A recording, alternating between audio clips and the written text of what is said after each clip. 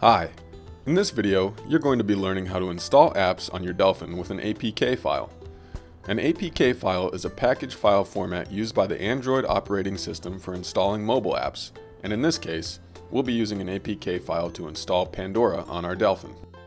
To begin, let's start by opening Safari and making our way to the Android file transfer website.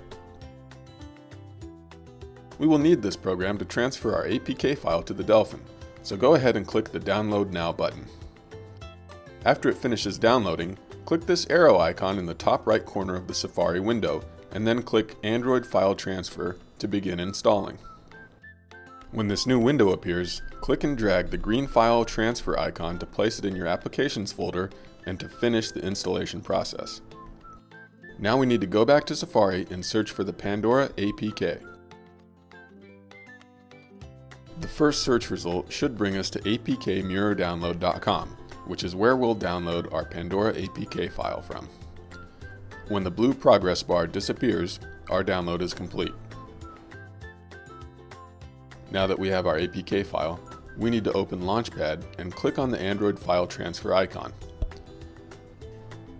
If you have your Delphin plugged into your computer, it should automatically detect your device and open up the Delphin folder. Now if we open the download folder on our Delphin, we can see that the Amazon app APK file is already there. This is where all of our APK files need to go. So let's click, drag, and drop our Pandora APK file into the download folder on our Delphin. After that's done, we can quit out of File Transfer and Safari and safely eject our Delphin.